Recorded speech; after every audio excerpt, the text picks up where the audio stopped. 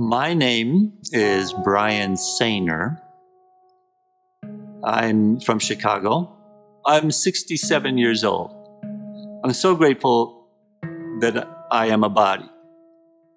And I am so humbled by that as well. And I think this is something that happens as we get older. And I'm I'm thinking that this body is the only thing that I have to understand my relationship to you or anything. I've said this so many times. I can I can look through a microscope and I can see the cells in my body, blood.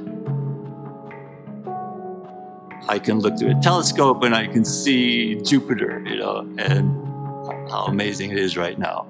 And all of that somehow doesn't exist unless I have a body or I am a body with these senses. But also, those things exist. Jupiter exists without the human race, without me. And in some ways, that's humbling. But there's a mystery, there's magic here that I haven't quite figured out, and science doesn't explain it.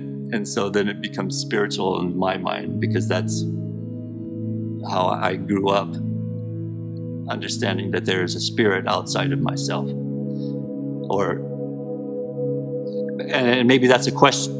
Maybe that spirit is myself, and it's through this, my embodiment, that I'm able to understand spirit, the thing that's other. And so that relationship between embodiment and otherness, you, another human, or the planet, Jupiter, another object, uh, is is only understood through this flesh and and blood and bone and consciousness. I don't know. And I'm thinking about death. And I'm thinking that there's an end to embodiment as I know it. And then a really fun question is does consciousness exist? Do is there a spirit? Is there life after death? And I suspect not. Uh, you know, right now my limited understanding is that I don't know without having this aggregate of brain, chemical, bone, flesh, relationship experience, diet, you know, um, environment, will consciousness continue?